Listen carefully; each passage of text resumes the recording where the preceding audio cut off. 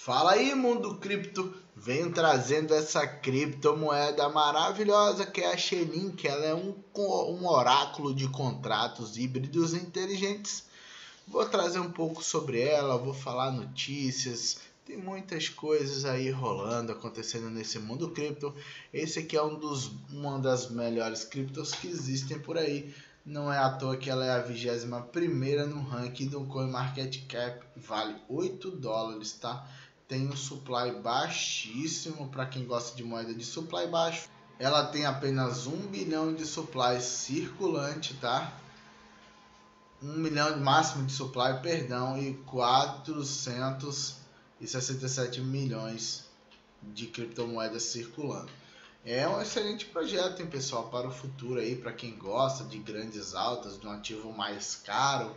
Pode ser que dê muito bom, tá subindo 13.44% no momento desse vídeo.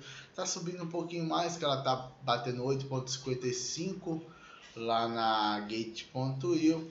Para quem não conhece, esse aqui é o site, tá? Ela que é um é o que eu falei para vocês, é a Xelink ela é descentralizada, oráculo de contratos inteligentes, tá? Para blockchains. Ela é um código aberto, aqui tem um código dela para quem gosta e quer trabalhar dentro dessa plataforma Xelink, tá ali o código para vocês, tá? Sempre tem notícias boas da Xelink, ela é um projeto muito bom trazendo notícia aqui, ó. Xelink anuncia nova era com introdução de staking, pessoal. Olha que maravilhoso, agora ela introduziu o staking. A Xelink anuncia uma nova era de crescimento sustentável e segurança. Xelink Economics 2.0 começa com staking. A implementação inicial para esta para esta era está prevista para o segundo semestre de 2022. Aí, Links Rebel, aqui tem o projeto, tem tudo aqui direitinho falando. Né? O stake da Chainlink visa fornecer aos atores do ecossistema, como operadores de nós e membros da comunidade, a opção de apoiar serviços Oráculo com tokens links apostados, aumentando assim as garantias de segurança e garantias do usuário. A capacidade de nós de receber trabalhos e ganhar taxas relacionadas dentro da rede Chainlink é, portanto, aprimorada ao apostar em Chainlink. A implementação inicial se concentrará em fornecer uma base simples e segura por meio do qual o feedback pode ser coletado antes de aumentar o escopo e adicionar mais complexidade à arquitetura, arquitetura de staking de acordo com a postagem do blog. Maravilhoso, pessoal. Xelink aumenta 9% à medida que as baleias acumulam. Ela também está no na Wallet State, está como um dos mais comprados. É um excelente projeto para quem quer botar em carteira, quem quer uma opção diferenciada de carteira. Tá aqui a Xelink para vocês valendo 8 dólares e 54 centavos. Uma boa pedida. Dar uma olhada no gráfico dela. Veja que ela está fazendo pivô de alta. Está alcançando até alvos aqui no pivô de alta. Vamos olhar com carinho aqui. Perto da média de 100 ali. Está provocando a média de 100.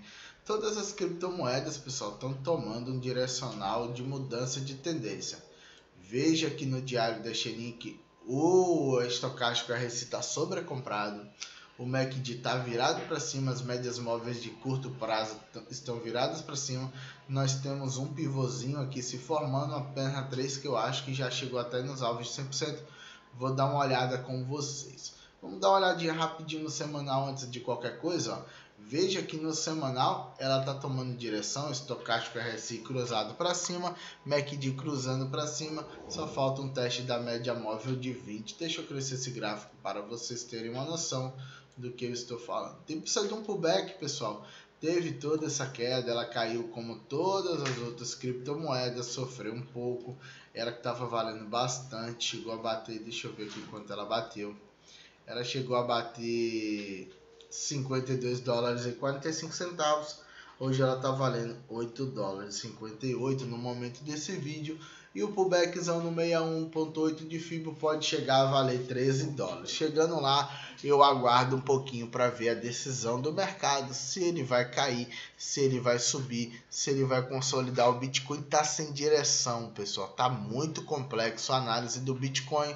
Eu que sou um investidor de Bitcoin e outras criptomoedas, nunca vi tão sem direção, Bitcoin batendo para cima, batendo para baixo, muita manipulação cortando para lá, cortando para cá, mas a Xelink ela tá um pouco direcional, veja que ela tá subindo no semanal, já teve o rompimento do candle anterior, tá formando um pivôzinho mesmo que seja de baixa, vem testar lá os 12 dólares, entre 12 e 13 dólares, vamos ficar de olho nesse semanal aí. O diário, vou passar esse pivô para vocês que eu falei,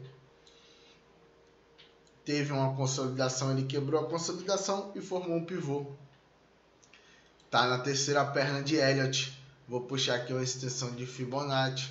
Se você pegar aqui extensão, jogar aqui, veja que ele já deu alvo de 100% de fibra desse pivôzinho que está se formando.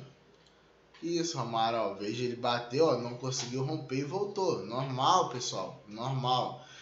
Isso aqui fica mais visível no gráfico de 4 horas.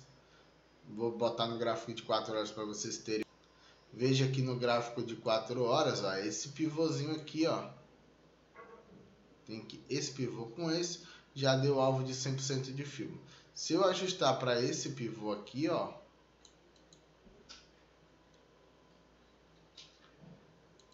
e chamar aqui no outro pivô,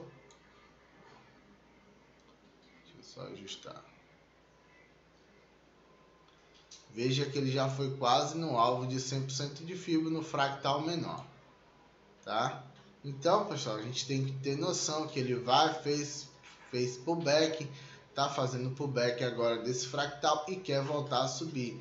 Que, qual foi o pullback desse fractal, Romário? Fundo com topo, ele chegou a bater no 38 de fibra, tá? Não chegou perto dos 50, mas chegou perto das médias móveis pode ser que ele volte ainda teste aqui esses 8 dólares e 10 centavos para depois pivotear para cima, tá? Aqui o pullback natural seria vir testar pelo menos um 61.8 na média de 20, igual fez aqui, ó.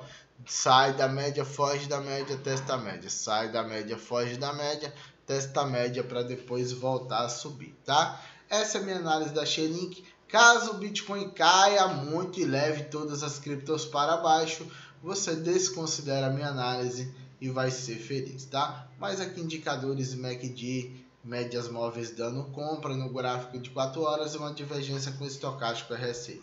Se você gostou da minha análise, aproveita, deixa seu like, inscreva-se no canal, compartilhe esse vídeo. Seu like é muito importante para o crescimento do meu canal e lembre-se, nada que eu falo aqui é recomendação de compra ou de venda. Foi galerinha, aquele abraço para todos vocês.